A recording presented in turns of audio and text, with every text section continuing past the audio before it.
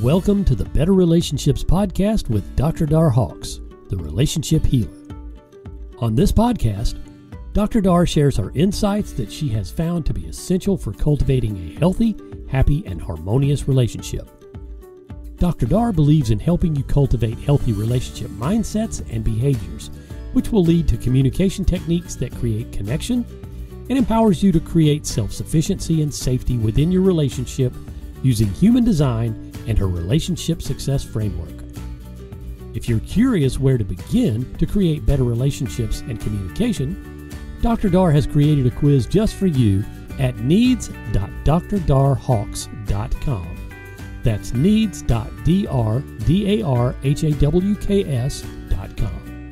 And now, here's Dr. Dar.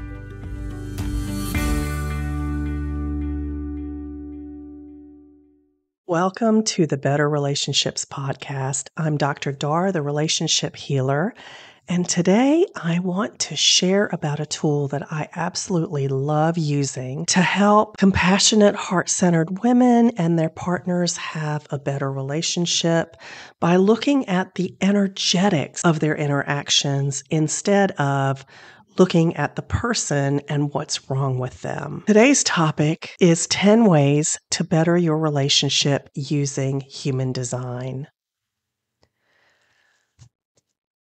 Human design serves as a powerful tool for understanding how to be seen, heard, understood, valued, loved, and supported in your relationship, and not just the one with your partner, pretty much all your relationships.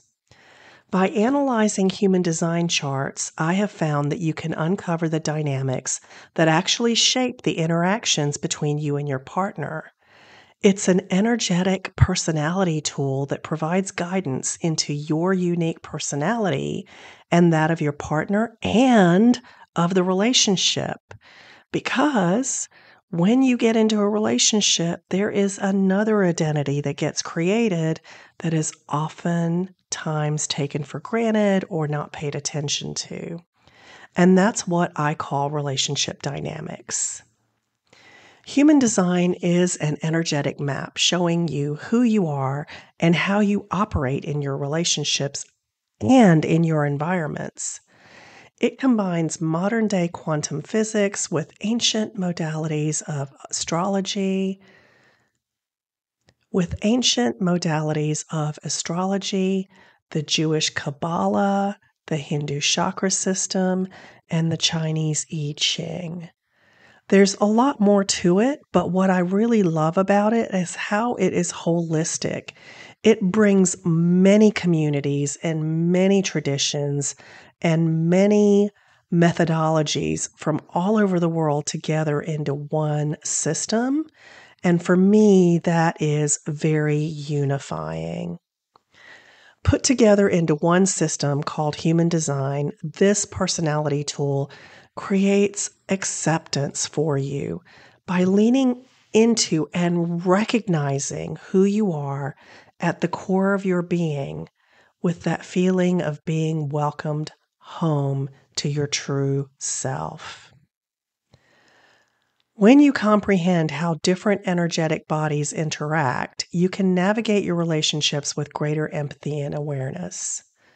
By using human design with individuals and couples, I have seen that we tend to attract people into our lives based on who we're not.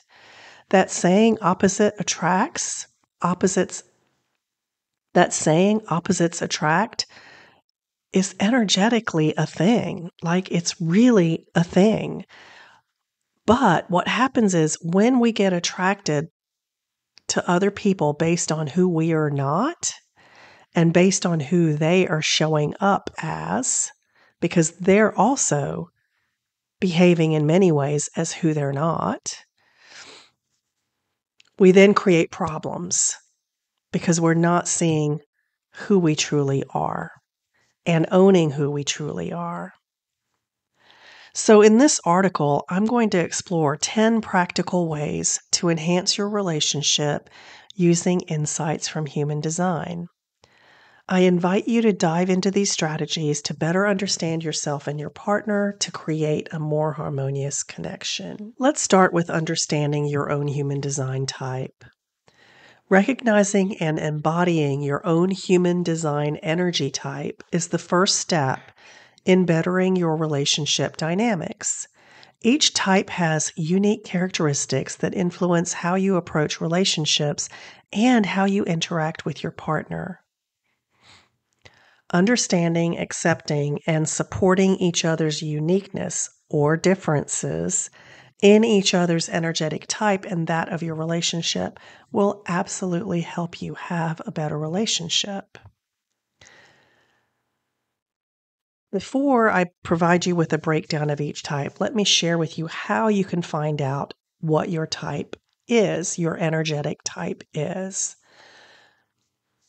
You can click the button and you will go to a page that will ask you for your name, your birth date, and where you were born and the time of your birth. That information is used to c- calculate and create your human design chart. It will give you what your type is and a lot more information that I'll be going through here. After you've read this article, and go grab your chart and then come back to this article to help you assess and understand your chart a bit better based on the details I provide here. The first energy type is a generator. They are known for their consistent energy and enthusiasm.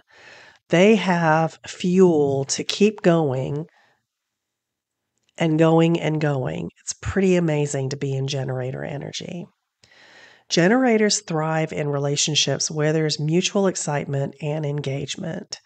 They look for partners who appreciate their vitality and at times who can match their level of activity. You might be able to tell as I share more about the other types that when a generator or any any of the types gets into a relationship with someone of a different energy type, there's collaboration and communication that needs to occur and a lot of acceptance and supporting each other's energy type. Projectors excel at guiding and leading and managing others. In relationships, they value recognition and appreciation from their partners. That actually lights them up and gets them motivated and into action.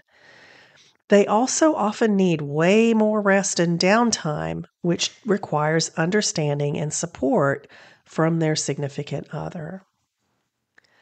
Manifestors are natural initiators and leaders. They prefer relationships that allow them autonomy and freedom to act on their impulses.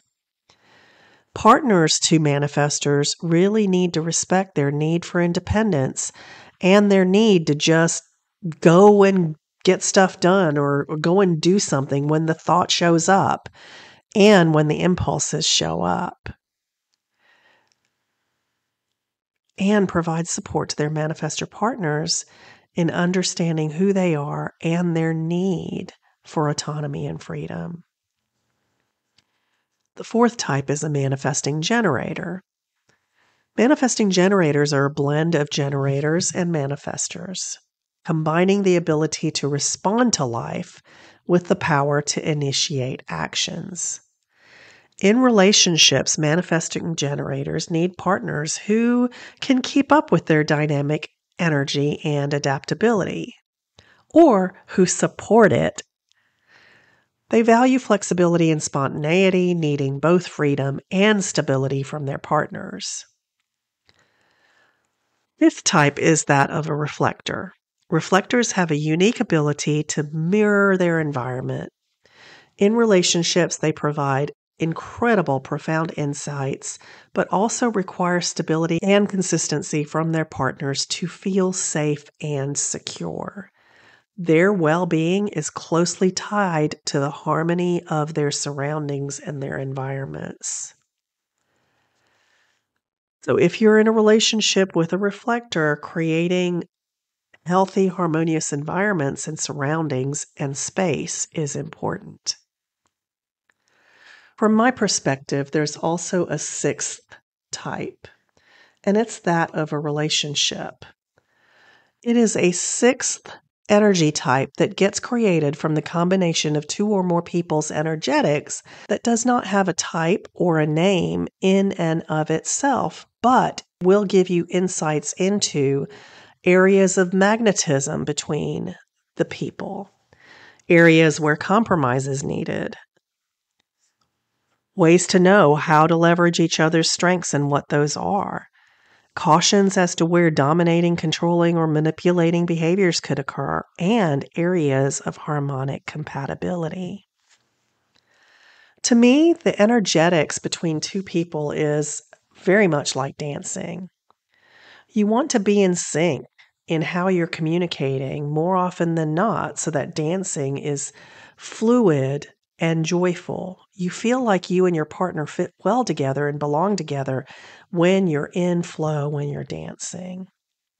And you want to be able to learn the steps and body positions when you're not in sync so that you get better together in that dance.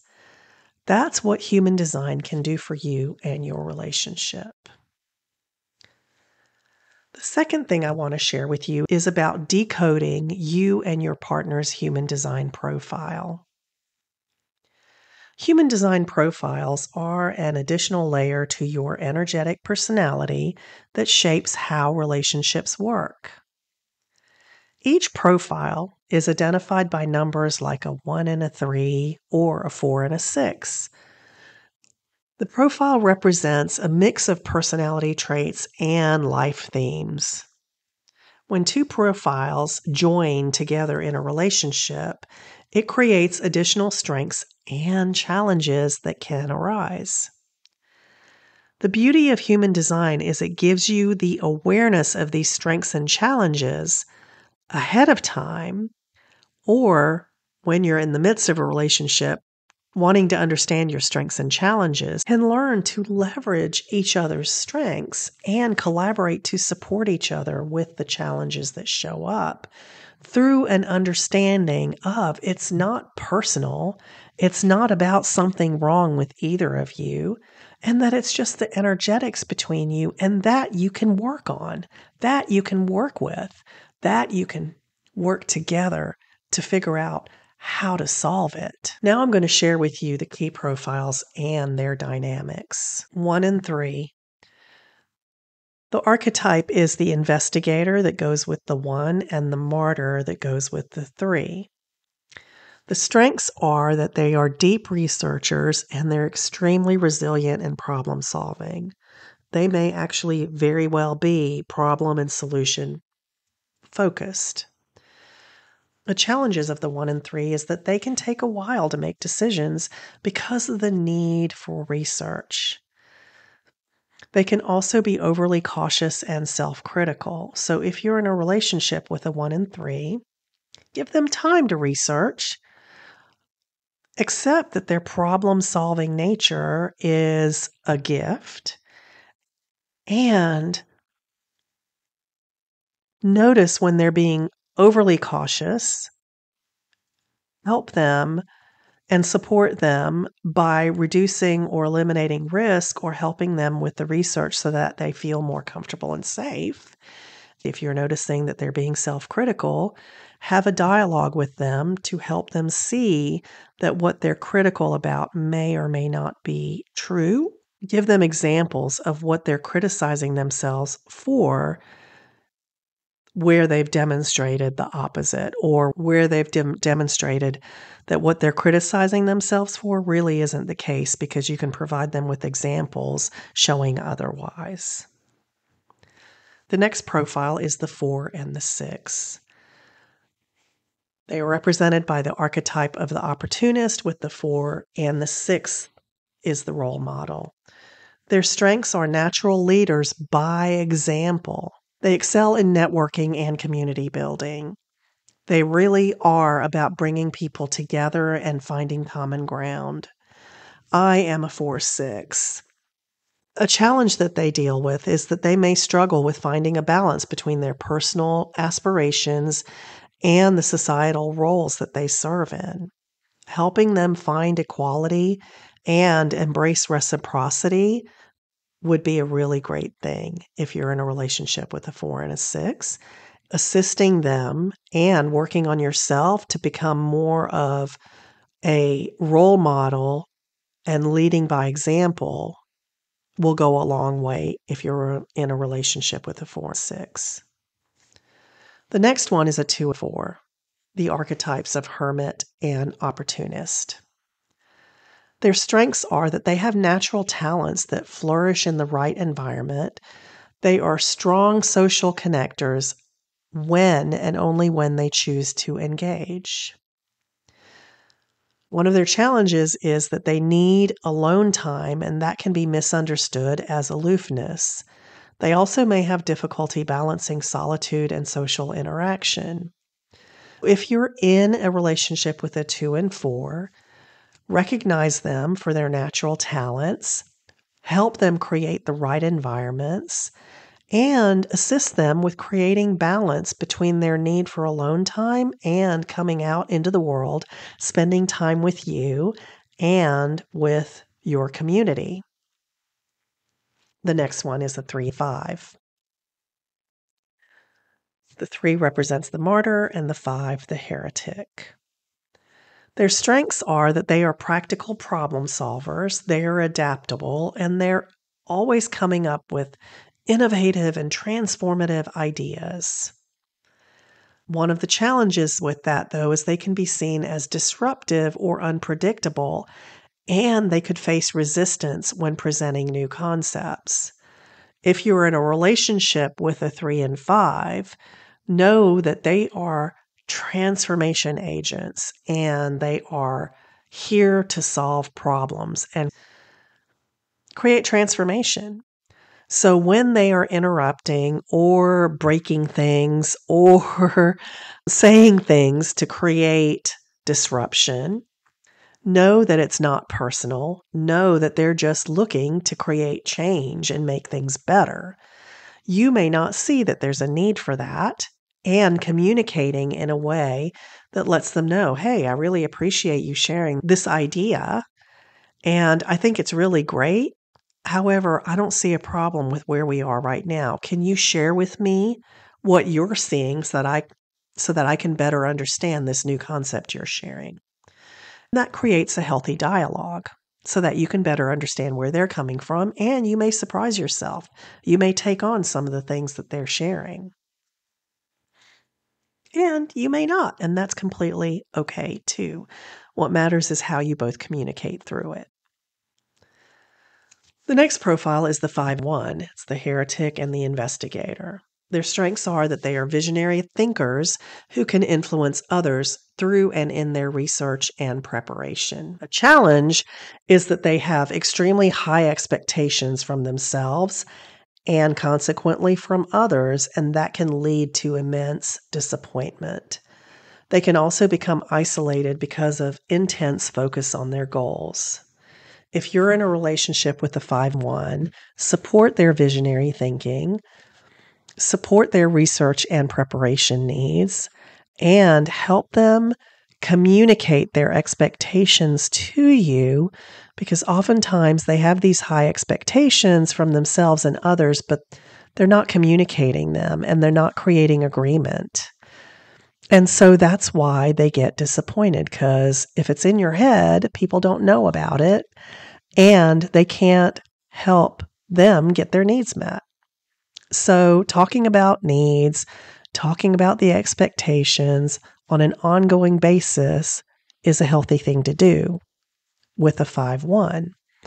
Also, help them find balance by creating scheduled time where they're not isolated, focusing on their goals.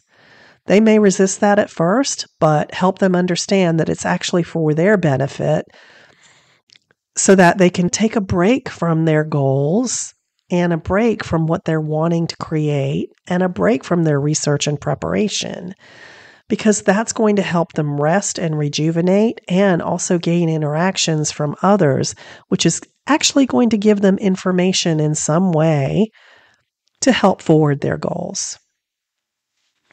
The next profile is the 6 2. It's the role model and the hermit.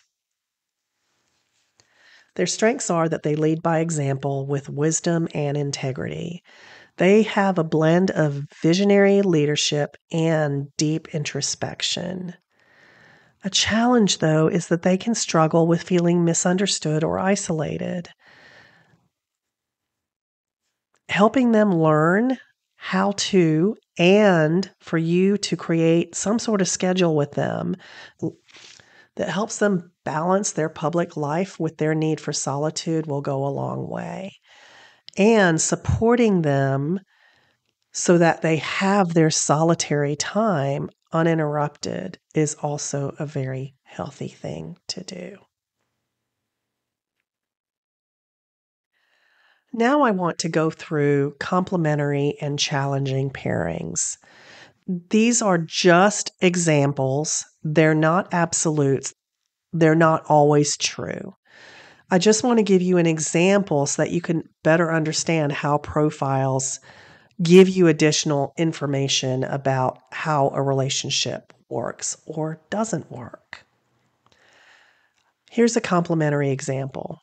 A 1 3 profile paired with a 4 and 6 can create a relationship dynamic where the investigator deeply explores solutions while the role model brings those solutions into the community. It requires collaboration and leveraging each, each of the profile's strengths. Here's a challenging example. Two profiles with strong leadership traits, such as a 4 6 with another 4 6, can face power struggles unless they develop mutual respect for each other's strengths.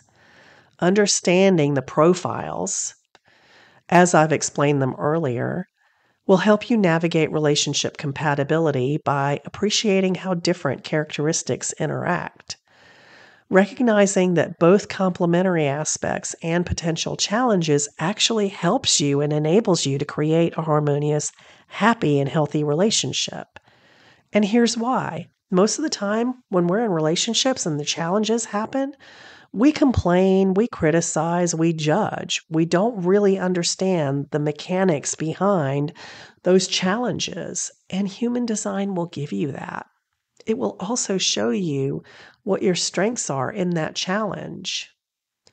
And then you can start talking about your partner's strengths and your strengths and where the challenge is creating an issue for the two of you. And from that conversation, it's not personal. No one's getting defensive. No one's judging each other. You're looking at your human design and the energetics, and you're like, okay, well, now that we know that this is going on, what can we do to resolve it for us? Maybe it's the partner that has the strength in that area takes the accountability and handles it. And you ask them to just keep you informed and updated on a regular basis, or vice versa. There are many ways to resolve challenges once you understand the mechanics and the energetics of it. The next thing I want to share with you about a human design chart is about exploring defined and open centers in your individual charts, but also in your relationship chart that shows the energetics of you and your partner together in one chart. Defined and open centers are crucial parts, truly, of a human design chart that significantly affects how you interact and connect with your partner. So, what are defined and open centers? Defined centers are areas within the chart that show consistent energy patterns and themes. They represent aspects of your personality that are stable and reliable. You can always count on them. Conversely, open centers lack fixed characteristics and are more susceptible to external influence, making them areas where you can absorb and magnify energy from others. These are the areas in your energetic personality that are unreliable, they are inconsistent. So, when you've had days where you feel like you're not grounded or you're unclear and you feel like you're all over the place, It could be that you're picking up energy from outside of yourself and responding to it or reacting to it. I didn't explain what a center is, so let me do that now. When you look at a human design chart, there are nine geometric shapes consisting of squares and triangles. Each of those shapes is called an energy center. Now, I want to talk about the significance of human design when it comes to your relationships.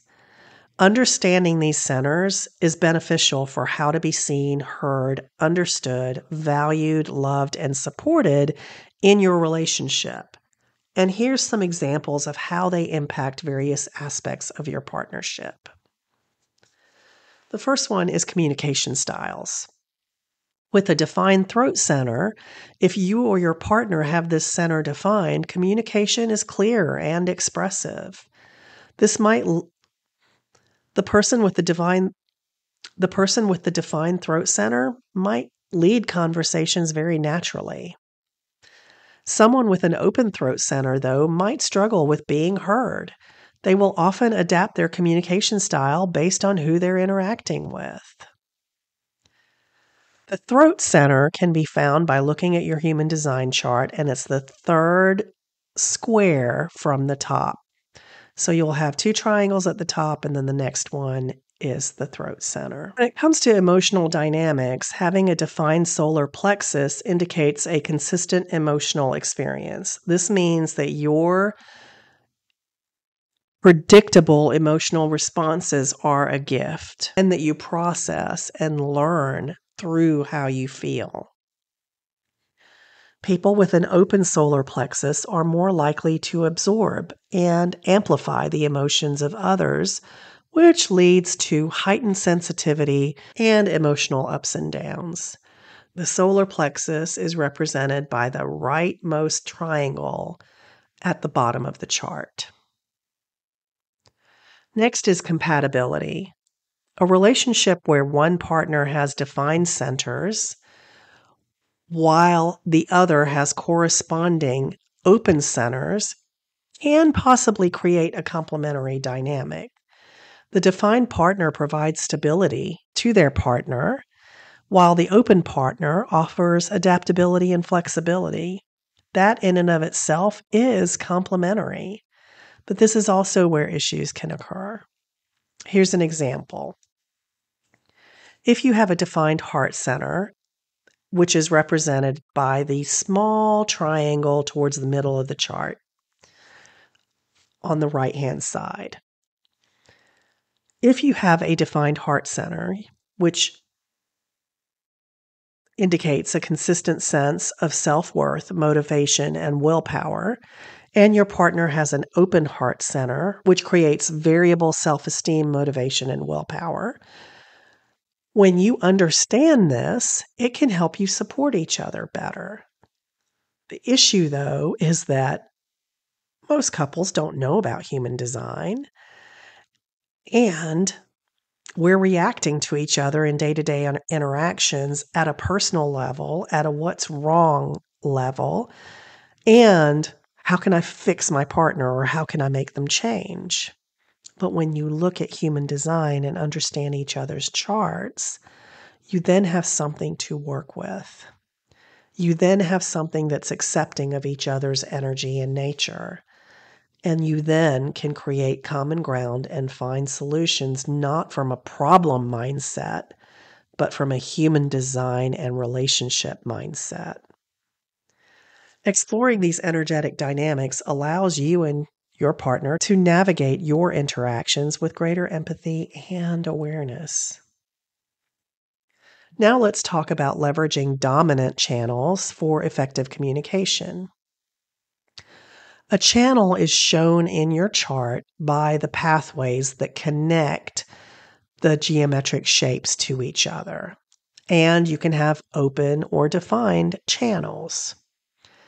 Dominant channels play a crucial role in shaping communication patterns within relationships.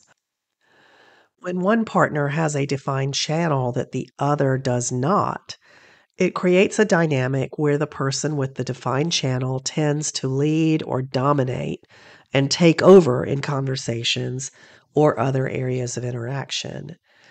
When you understand the dominant channels in your charts, then you and your partner can start navigating communication more effectively.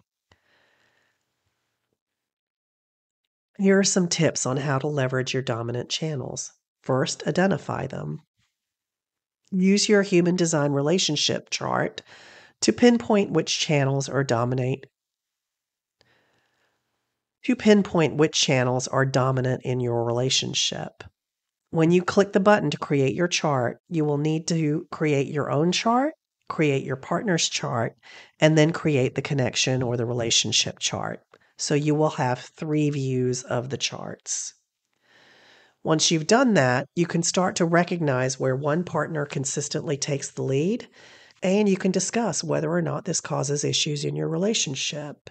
You can then make agreements where collaboration and communication is needed in those areas, along with those that you both agree one partner is trusted to manage with or without updating the other partner.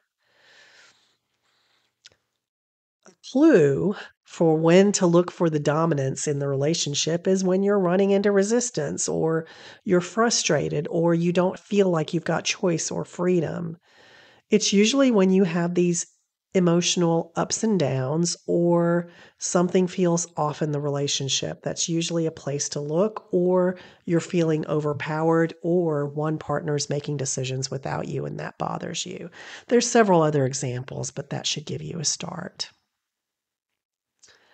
The second thing you can do to leverage dominant channels is acknowledging and accepting each other's strengths and weaknesses.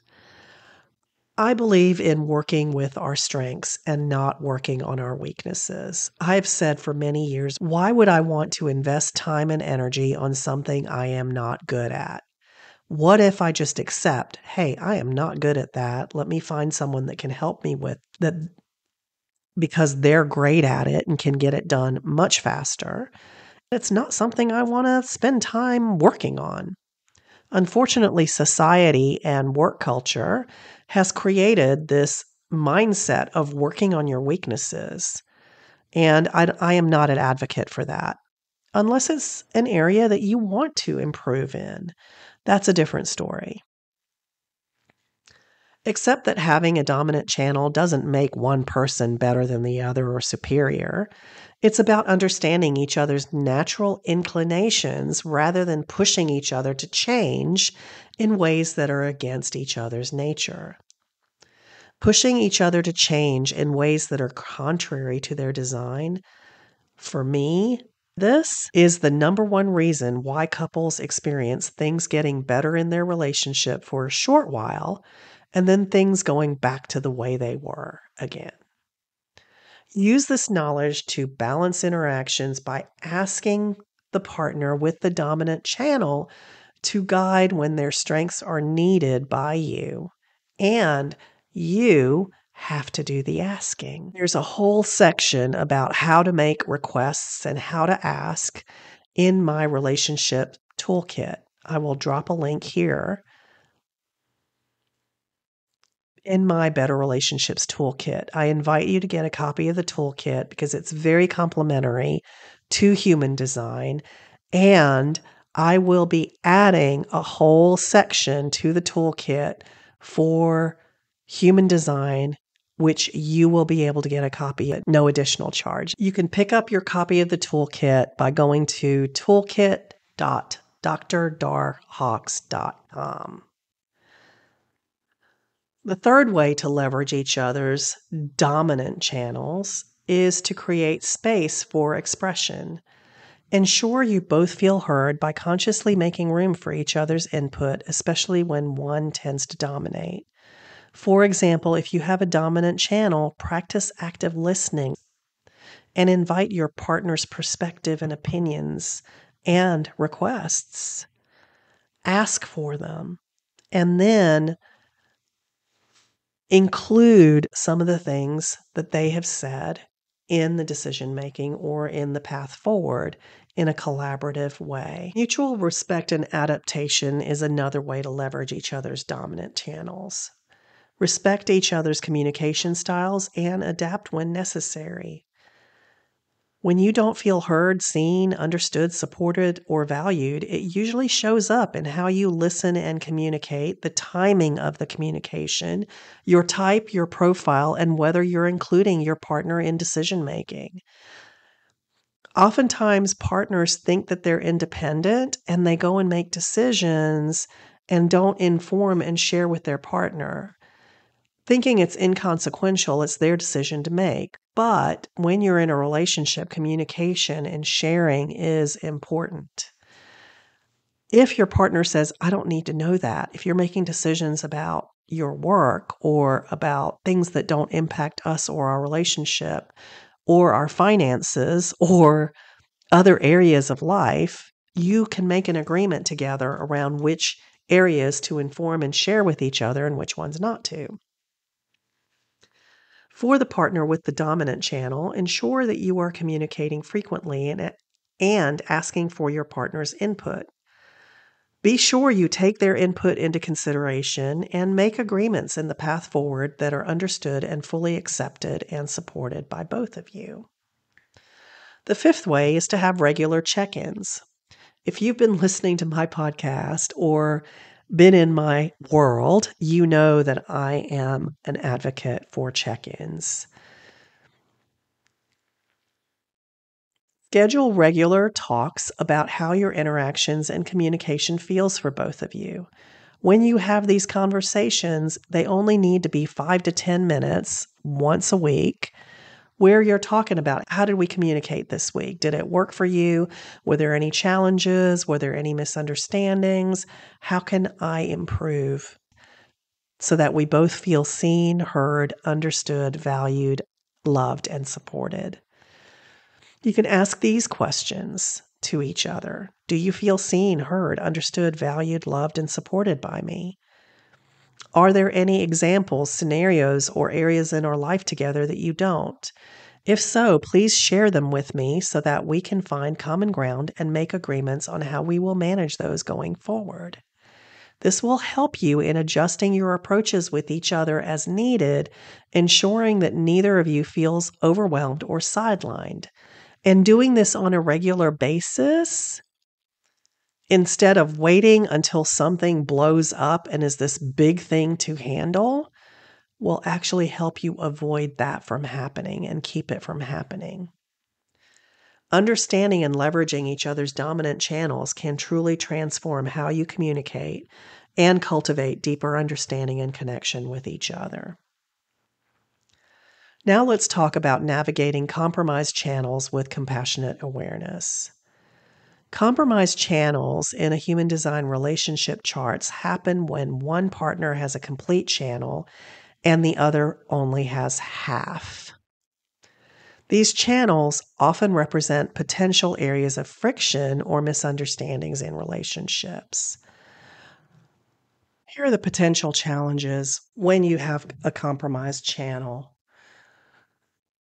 there's an imbalance of power. The partner with the complete channel could dominate the relationship, which can lead to feelings of inadequacy or frustration. Miscommunication, different perspectives can result in disagreements or misinterpretations, making effective communication difficult. And not feeling seen, heard, or understood. It can create emotional stress. The imbalance can cause emotional strain, as one partner might feel undervalued, not supported, and taken for granted.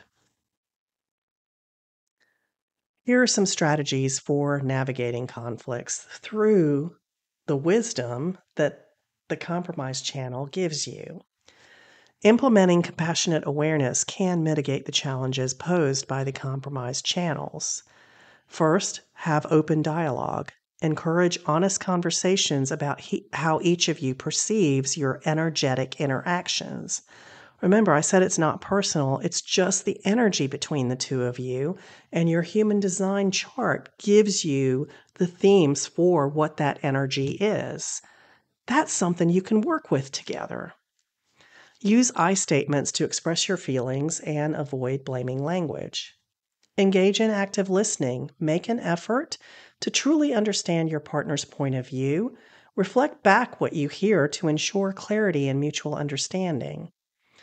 Clearly define personal and relationship boundaries to pre- that will help you prevent overstepping. Respect each other's need for space and individual expression and each other's boundaries. Build empathy. Engage in activities that promote empathy, like role reversal exercises and consistently acknowledge and validate each other's emotions and experiences instead of dismissing or disagreeing with them. It's much easier to just say, Wow, I had no idea you felt that way. Thank you for sharing, instead of, No, that's not true, or you're, you know, you shouldn't feel that way, or I'm sorry you feel that way. That's my favorite one. That one creates more arguments than I think anything else that we can say in the moment. Role reversal exercises involve partners switching roles to gain a deeper understanding of each other's perspectives and experiences. This practice is powerful and it enhances empathy and communication by allowing each other to see things from their partner's point of view and from their partner's experience. It builds greater awareness, understanding, acceptance, and compassion for each other. An example of role reversal from my own life and relationship would be when I was the one that mowed the grass. I just really love being out there and using a push mower, even though we had a riding mower. It gets steps in. It just feels really good to me to do that. And at the house we were living in, there was a significant hill in the back in the front yard. Well, I hurt my back and my neck, and I had incredible inflammation for several weeks, and the grass was pretty tall. It had to be cut. So my husband went out to use the push mower. Um, I think he might have used the riding mower. I don't remember which, but he recognized this is a lot of work. And while I was recovering, he hired somebody to take care of the yard work. So I think it's great that he did that. And we continued to outsource that work, which freed up a lot of time for me to do things in the house and do things that were more joyful. But that's an example to give you an idea of how role reversal works. Like he had complete understanding and empathy of what it's like to take care of the yard work. By recognizing and addressing compromised channels with compassionate awareness, you can transform potential challenges into opportunities for growth and deeper connection because you will have the awareness of the energetics in your individual charts and that of your relationship. Now, let's talk about electromagnetic channels for creating a more balanced relationship. In a couple's chart, electromagnetic channels show the specific areas where each partner's energies come together to form a complete channel. That means you have half and your partner has the other half defined. These channels are important because they reveal how partners complete each other, promoting balance and support in the relationship. So when it's defined, you will see you have half colored in and your partner has the other half colored in, creating a complete channel. When one partner's reaching gate, that's what I call when you have half of the channel or the path. It's a reaching gate. The numbers in the geometric shapes on your chart represent gates that open and close you can kind of think of it that way. I'm not going to talk about that now. I'll go into that in another podcast. But when one partner's reaching gate connects with the other partner's, it creates a full electromagnetic channel. This interaction brings a feeling of completeness and cooperation and acceptance. It's like an, ah, we get each other, and it enhances both of your strengths. In areas such as creativity or emotional understanding, these channels lead to improved communication and teamwork. For example, if one of you is great at coming up with the ideas while the other one is great at putting them into action, your combined efforts will result in successful projects and shared goals. Each end of the channel has its own strengths and challenges, which is why electromagnetic channels can be fully collaborative in creating results. It does require looking at each other's strengths and recognizing that if one partner has strength has strength A and the other has strength B, not comparing the effort it takes to do either. It could seem that one partner takes less time, takes less effort than the other, but when you're leveraging each other's strengths, you're not looking at it that way. I invite you to not look at it that way. I invite you to look at it from the perspective of their energy is activating the energy in you. And by doing that, they are get using their strengths to do their part, and you're using your strengths to do your part. Electromagnetic mm. channels often highlight where partners naturally support and uplift each other, contributing to a harmonious relationship dynamic. They can help you feel seen, heard, understood, valued, loved, and supported within your partnership. While they are beneficial, electromagnetic channels can also bring hidden challenges. If not managed with awareness, the same areas that create connection could also become points of dependency or even conflict. For instance, relying too much on one partner for emotional support might put too much responsibility and create weariness for emotional well being on that partner. Understanding electromagnetic channels allows you to use the potential for creating energetic harmony while also being careful about maintaining individual balance within your relationship. Recognizing both the strengths and challenging aspects will ensure that you navigate them when they show up in your life with greater understanding, empathy, and respect for each other. We're going to talk about cultivating empathy through human design insights now. Empathy truly is the foundation of any healthy relationship by understanding and hearing and appreciating your partner's unique human design energetic personality, you can cultivate a deeper sense of empathy within your partnership.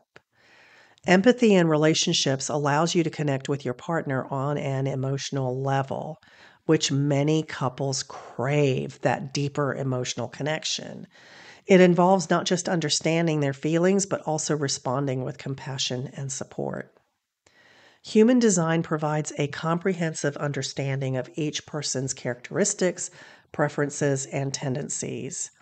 By familiarizing yourself with your partner's design, you can gain insights into their and your intrinsic motivations and challenges. For example, generators might need more time to respond to questions or decisions, while projectors may need and require recognition for their contributions. A manifestor could appreciate having the freedom to initiate actions without constant interference, whereas a reflector might need an environment that supports their reflective and introspective nature. This shared understanding builds an environment of patience and support while minimizing misunderstandings. Human design insights empower both partners to look beyond superficial behaviors and and identify the underlying design shaping those actions. This enhanced empathy contributes to building a supportive, nurturing relationship where both individuals feel acknowledged and appreciated. Here are some practical techniques to deepen your emotional bond using human design principles. Enga- engaging in activities together based on your human design charts can create intimacy and strengthen your bond. Here are some practical techniques. Have some chart reviewing sessions. Spend time together reviewing each other's human design charts with your relationship coach who uses human design to help couples and individuals with their relationships. Or you can do this solo and look online. There's lots of material. Sometimes it can be conflicting and you could go down several rabbit holes. But if you're a researcher, for example, or an investigator type, and you love doing that, then by all means, go for it. And remember to use your strategy and authority, which I will talk about in another podcast, so that you are making decisions about what resonates for you and what doesn't, so that you let go of what doesn't and keep what does as you're doing your research. Discuss the unique aspects of each chart and how they play out in your relationship. This can lead to deeper understanding and appreciation. Spend time in daily reflection, either through journaling, where you're writing about your interactions and feelings towards each other, and reflecting on how your designs influence those moments. And you can share these reflections with each other weekly, facilitating open communication and emotional connection. Participate in meditation and visualization exercises. Joint meditation using guided meditations that focus on aligning your energy based on your charts is a great way to connect. Have visualization exercises where you visualize harmonious scenarios where both of you where both of your strengths are highlighted. The next one is role reversal exercises. These are extremely powerful. Experiment with swapping roles or tasks in certain situations to better understand each other's perspectives. For example, if one partner typically leads conversations based on a dominant channel, try allowing the other partner to take the lead. Have customized date nights. Plan activities to cater Plan activities that cater to both partners' types and profiles. A generator might enjoy an active outing, while a projector might prefer a more relaxed, intimate setting. The generator can show support by participating in relaxed, intimate setting date nights, while the projector can also enjoy active outings, and alternating those is a healthy thing to do. Participate in conflict resolution workshops or hire a relationship coach that uses human design to help you make sense of the conflict very quickly and work with you to identify solutions that can be easy to implement because they don't go against your nature. You can also attend workshops or online courses that offer tools for conflict resolution tailored to your human design types. Creative collaborations. Take on projects that leverage both your strengths. This could be anything from art projects to planning events together, but they ensure both of you feel valued and connected. These exercises not only promote deeper connection, but also encourage ongoing personal growth in the relationship framework of human design principles. Now let's talk about nurturing personal growth in the relationship. Personal growth through human design can be a transformative experience with your partner. By embracing the lessons offered by each other's designs, you create a space where you both can thrive individually and collectively. Here are some ways how to be seen, heard, understood, and supported in your relationship with human design. First, recognize each other's individual strengths. Each human design type and profile has their unique strengths. Celebrate these qualities in your partner and yourself. Create an environment where you both feel valued and understood. Secondly, embrace the differences. Understand that differences in design are opportunities for growth. They are also opportunities for acceptance and opportunities to stop trying to change the person who has the difference or them trying to change you because it's different. Embrace the uniqueness you each have and bring to the relationship. Reflect on how these differences can complement each other and enhance your relationship. Thirdly, support each other's journey. Encourage personal development by supporting your partner's human design journey. Whether it's through new hobbies, career goals, or self improvement activities, being a supportive partner can amplify growth. Fourthly, communicate openly. Use insights from your human design charts to facilitate open and honest communication. Discuss your needs, expectations, and boundaries transparently because that can lead to mutual understanding and respect. And lastly, create shared goals. Sure, you can have individual goals, but couples that don't have shared goals tend to drift apart over time. So make sure you're regularly creating shared goals that you work on on a weekly basis together.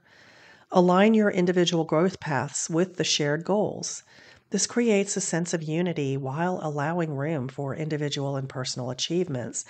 And celebrate the steps you're taking towards that goal in addition to accomplishing the goal. Oftentimes, I find that couples and individuals celebrate once they've accomplished the goal, but not the journey they took to get there. Also, when you're on the path towards a goal, talk about the challenges along the way. Your partner just might have strengths that you don't in helping you bring them forward and into fruition and reality. By focusing on these aspects, you nurture not only the relationship, but also your personal growth. And lastly, Participate in continuous exploration. It really is the journey towards harmonious co creation with your partner using your human design as a guide. Applying human design principles in relationships is an ongoing process that requires dedication from both of you. Make a commitment to understanding and leveraging your human design and your relationship chart so that you can have deeper connection and mutual growth. Seek professional support when needed. Human design coaching session focused Coaching sessions focused on using human design tools can offer valuable insights into how to be seen, heard, understood, and supported in your relationship. Use resources like this free human design connection chart and the report that I will provide you with at no charge to continuously explore to continually explore your relationship dynamics. You can go get your chart at chart.drdarhawks.com. Navigating through your human design relationship journey together enriches both personal and joint experiences, fostering a harmonious co creation. Embrace the continuous exploration of human design and relationships for a thriving partnership.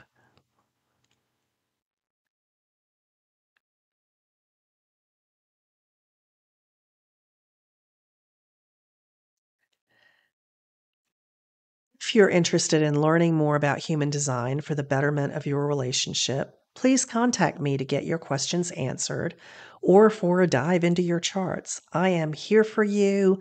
I love human design. I'm still learning as I share with you, and we will learn together as we take a dive into your charts. Contact me by going to Dr. Com and click on the contact link on the top right, and you can send me an email or schedule some time on my calendar for a discovery session. I hope this was insightful to you, intriguing, and you learn more about human design. And I look forward to connecting with you in a discovery session or in the next podcast. Thank you for tuning in to the Better Relationships Podcast. We'd love to hear from you. Leave a quick review on iTunes. Subscribe to the Better Relationships podcast on your favorite platform and share it with friends and family. Take the primary relationship needs quiz at needs.drdarhawks.com to discover how your core relationship needs influence your interactions with your partner. That's needs.drdarhawks.com. For any questions, comments, or topics you'd like covered on the show, feel free to DM Dr. Dar on Facebook at DRDARHAWKS1, that's Dr. Dar Hawks 1, or on Instagram and threads at dr.dar.hawks. Disclaimer The advice in this podcast is not a substitute for the professional medical advice, diagnosis, or treatment provided by licensed medical or mental health professionals.